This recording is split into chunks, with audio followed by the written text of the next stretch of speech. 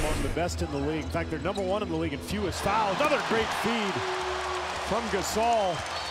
And that's going to be a challenge for Dallas throughout this series, trying to find easy points. They'll get some in transition, but getting to the free throw line, very difficult against this Lakers